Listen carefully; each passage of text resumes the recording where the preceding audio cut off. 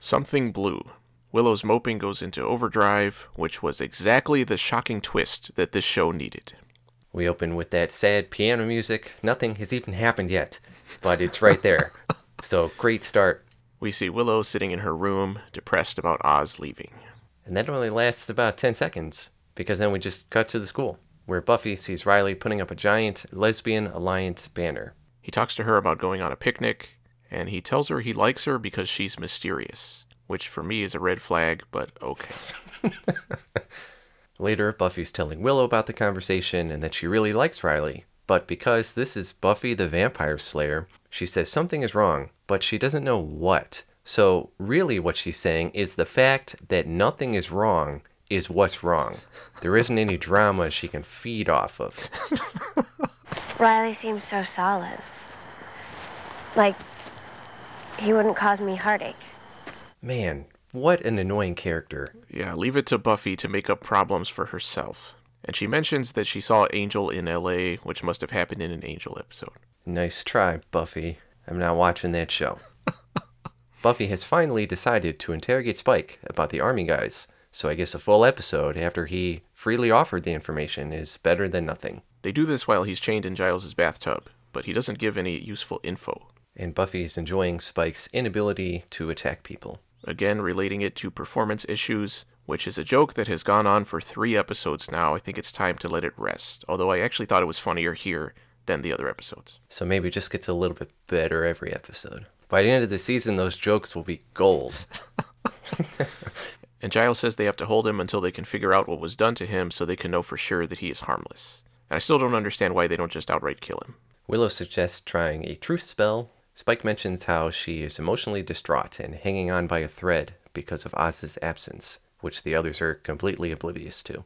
Later, a crying Willow tells Buffy that Oz had all his stuff sent to wherever he is, which means he's not coming back. While Spike yells at Giles about not being able to watch his soap operas, Giles tries to call Willow about performing the spell, but she doesn't pick up. At Buffy and Riley's picnic date, which is right in the middle of campus for some reason, I mean, there are people walking on the sidewalk two feet away from them. Riley is gushing about how he loves to drive, and it went on for a really long time and was really weird. Just relax. Let it wash over you. The air, motion. Let it roll. It turns into a metaphorical conversation about moving their relationship forward, which Buffy seems totally into, apparently not having learned from her experience with Parker. Or remembered her conversation earlier in this episode where she said she needs drama and fighting and whatever. Then Willow shows up to make things awkward with her crippling depression. And that's the scene. I thought this episode had way too many scenes that weren't sure how to resolve, so they just cut them off. I think they did that on purpose with this one. But they did it three other times in this episode that I marked. Yeah, yeah. Buffy's relaying Willow's sorrow to Xander and Anya at the bronze, but it appears that Willow has rebounded and is dancing to a song that I've actually heard before. But I suspect if you put it in a clip, we'll get busted for copyright, so don't do that. It was Blink 182, who just announced a world tour, if you didn't know. Oh, jeez. Okay, I didn't know who it was, but I knew it was something I didn't like, so now I know to avoid them. Yeah, go get those tickets. Willow tells them she's decided to look at things more optimistically, and it turns out she has turned to alcoholism to solve her problems. Buffy drops some hypocritical advice on her, and she references beer bad in another desperate attempt at some of that money we talked about in that episode, but it still doesn't work. And the conversation isn't actually resolved. It just cuts to both of them later that night in bed. It was very jarring. While Buffy is asleep, Willow performs a spell that is supposed to make whatever she wills come true. And I thought it was ridiculous that at night in a college dorm, there's nobody around, especially in a communal bathroom. How long did it take her to set all that shit up? and after she was done, did she clean up or did she just leave all those candles in a circle all over the floor? It would have been more realistic if during the spell she kept getting interrupted by someone in a stall vomiting because they had drank too much. And well, ye elements, I summon thee now. Control the outside, control within. But the next day, it appears that it didn't work. Giles shows up to check on Willow about skipping out on the truth spell. And him chastising her for not meeting her obligations was weird because I can't remember the last time he said anything like that to Buffy. So I guess he's just given up on her because he used to do it all the time. She tells him about the spell that she tried to cast, and he says she shouldn't do that while in her state, which offends her. And she tears him a new one, saying no one knows how she feels and just want her to get over her moping over Oz, and says that Giles can't see anything. And then her eyes go all magicy, and it appears to impair Giles' eyesight. But of course, he just walks out. Yeah, completely ignoring the conversation that they were in the middle of. he goes to perform the truth spell on Spike by himself for some reason, but he has trouble seeing the words in the book. As he's cleaning his glasses, he drops the key for the chains binding Spike, who promptly snatches it, shoves Giles, and runs out. Willow complains to Buffy about Giles, and she says she isn't a good witch because her spell didn't work. She says that Amy was a way better witch than her. Amy, the character who I never thought would show up again, has, I guess, been with Willow the whole time? What a weird callback. While they're talking, Willow accidentally turns Amy into a human again, but then back into a rat, and they don't notice. So she got paid for that appearance, yeah? Yeah, I thought about that. They called her in just to be in there for like one shot and just be like, here, take off your clothes and get on this bed.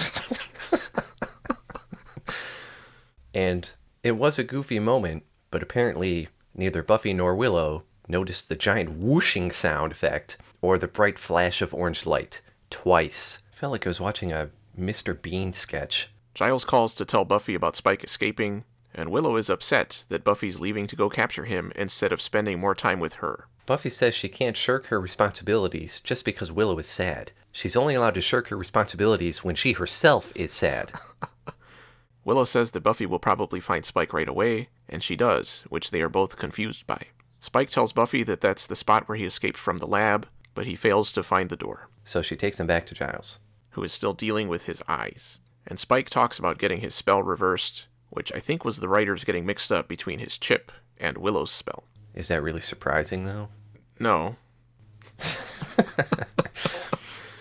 Elsewhere, Willow is complaining to Xander about Buffy abandoning her, and when Xander says Spike is the more important thing right now, Willow asks, why don't they just get married then? And then Giles walks in to find Spike proposing to Buffy. Xander tells Willow that she'll find someone else, but she insults him by listing off all the supernatural girls he's been involved with, and tells him, You're a demon magnet. My next note is just whoosh. You're a demon magnet. Hey, I was just trying to help. Giles tries to call Willow and leaves a message saying there must be some kind of spell going on, while Buffy and Spike discuss their marriage ceremony. Giles finally goes completely blind, and Spike decides to help reverse the spell since now they're practically family. And Buffy says Spike will take care of Giles while she goes to get supplies. When she goes out, she immediately gets distracted by a wedding dress in a window display, which could have been the spell or could have just been Buffy. She runs into Riley and tells him she's getting married, and he's very confused. And I liked how he pointed out that Spike, That's a name? but he's talking to someone named Buffy. He is very confused and ends up leaving, and dumb, goofy music tells us to laugh. But I didn't, just to be clear. I really wish they would let the humor speak for itself instead of trying to shove it in our face. I agree. Don't patronize me. Show. Why are you laughing? I didn't tell you to laugh there. Anya is trying to get intimate with Xander, but they are interrupted by Rawhead Rex. They manage to kill him, but then another demon busts in, so they run out and make their way to Giles' house, where they are freaked out by everything going on. Buffy is also back hanging out with Spike after having told Giles that the magic shop was out of what they needed for the reversal spell, and they presumably left Xander's mother behind to die. Oh yeah, I didn't even think about that. Neither did the writers. When Xander learns what's going on with the rest of them, he remembers what Willow said earlier, and Giles mentions Willow's will spell. And I thought the end of the scene was pretty funny. We gotta find her. Before somebody gets really hurt. And we cut to Willow walking into her dorm room and being ambushed by a demon. The same one that was talking to Anya back in Doppelgangland. The rest of the gang reaches the dorm room, and Anya immediately realizes that the demon, D'Hoffryn, has taken Willow, and he is the one who originally made her a vengeance demon. We see D'Hoffryn telling Willow that her emotional pain got the attention of some demons. I'm going to say that again. Her moping was so intense that it attracted a bunch of demons. Even Buffy never managed to do that. And what about people who have actual problems in the world? You know? Buffy and the others end up in the graveyard, where Anya tells them about how D'Hoffryn found her after she had been dumped, and that's when he offered to make her a demon. And then a bunch of demons pop out and chase them into a mausoleum. D'Hoffryn offers to make Willow a vengeance demon while showing her a really crappy, like 240p image of the rest of the gang being assaulted. So I guess they don't have 4K in hell or whatever. Even 720 would have been fine. Willow tells him that she doesn't want to be a demon and just wants to go help her friends. And D'Hoffryn responds with, I'm sorry to hear that. Oh well. It was kind of obvious that that was the joke they were going for, but I still thought it was pretty funny. And he gives Willow his talisman, saying if she changes her mind, She can use it to contact him. And he sends her to the location of the others, where Buffy is really focused on making out with Spike for some reason, while Xander is about to get killed. Willow reverses the spell, which causes Buffy and Spike to be repulsed by each other, Giles to see, but Xander is still a loser. Later, Willow is trying to alleviate her guilt by baking cookies, and Buffy is still disgusted that she was going to marry Spike. I noted that Spike was tied to a chair, but his hands were free. These characters have really learned a lot. And before they needed those intense chains, but now it's just rope. Even though he can't attack people, he's still very strong, right? Yeah, I mean, I would think he could just break the chair. Yeah. Buffy talks to Willow about how weird it was being in love with Spike, and says she has decided she really does want a normal relationship, at least until the next episode. She remembers her encounter with Riley, so runs to tell him that she was just joking about everything before. And we get their acoustic guitar relationship music. He says she must be insane, which should be a red flag, again, but for some reason, Riley doesn't see it. I'm glad he's in charge of all those army guys and everything. Something blue. Overall, The humor in this episode worked for me pretty much the whole time, and that's two episodes in a row. So I wonder do the writers finally have a handle on it? Because that would be great. While Willow was very apologetic at the end, it didn't seem like she actually learned anything about her pretty crappy magic skills. And the whole catalyst of this episode, her being mopey over Oz, was eventually completely discarded. There wasn't any resolution at the end, even partial, about why she cast that spell in the first place. So I can only assume she's going to continue to mope in further episodes, having not really learned anything. I thought the gang was going to find out more about the army guys and that whole underground installation, but again, we went through an entire episode where they learned nothing new. I guess a two episode gap is what we need. Hell, let's just draw it out to the end of the season. Riley's weird extended scene about how he loves driving so much was very awkward. I wouldn't be surprised if there's an episode in the future where there's a sentient female car and he has to decide whether to date it or Buffy. That's the kind of foreshadowing method this show seems to employ. yeah, I car, you Tarzan, or whatever. Christine, uh, Because Christine's already not a female name. they would get busted. They can't just borrow the name like that. Maybe Christine with a K. yeah. It seemed a little contrived that Xander was the one who figured out what was going on so late into the episode. I would have thought that Giles, who heard, You don't see anything, and then immediately had trouble seeing, would have said in that moment, Oh shit, I can't see anything, but instead just walked out. It would have made much more sense if his ailment had resulted like the others, where Willow said Giles can't see anything to someone else, and it affected him wherever he was. Why they chose to not do that just with him, I don't know. I guess Xander's was in front of him, but, but yeah. Yeah, that's true. Ah, f- well, he's dumb by default, though, so it's more believable. That's also true. And it didn't happen immediately. It's not like demons started busting through the windows right then and there. The show has not shoved the Riley Buffy relationship down our throat yet, but I'm waiting. It's coming. I can feel it. Just this sense of dread. Even in real life, I just fear to hear crappy 90s acoustic guitar music just coming out of nowhere. This episode was entertaining, if not the most intelligent, and nothing happened to forward the plot of this season, even though they had opportunities, so that's kind of a bummer. But I'm gonna give this one a B minus. I also gave it a B minus. This was another large scale magical event episode, and those are typically more enjoyable than most, I think.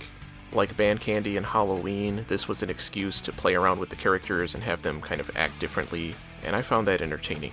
I agree that the humor was better than usual, although it is sometimes still kind of misplaced, with characters ignoring dangers or acting like things aren't as important as they should be. For me, this show works best when it acknowledges how stupid the characters can be and pokes fun at them, like it did in this episode, instead of leaning into the melodrama. Willow's moping, however, was not part of what I enjoyed and very much fell into that melodrama category.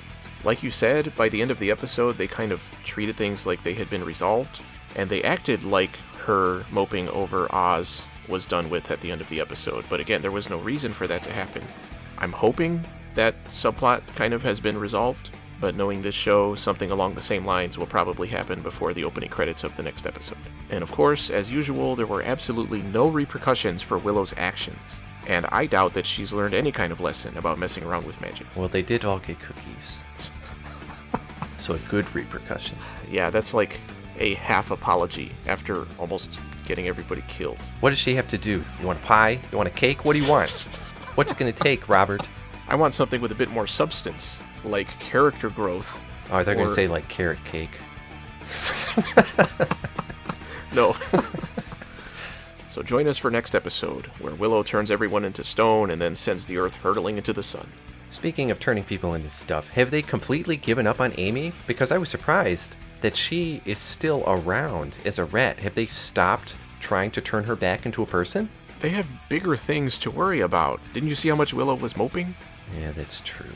And it didn't seem like it was that hard to turn her back because Willow messed up a spell and it worked to turn Amy back. But we've seen how much her spells don't work the way she intends them to. Yeah, so whenever she casts a spell, she should look at Amy and say, turn back into a human, and just see if it works, because she probably messed her spell up. Well, I'm surprised she hasn't somehow turned her into a giant rat that has gone around attacking people. Maybe she'll get turned from a rat into a car, and then Riley falls in love with her.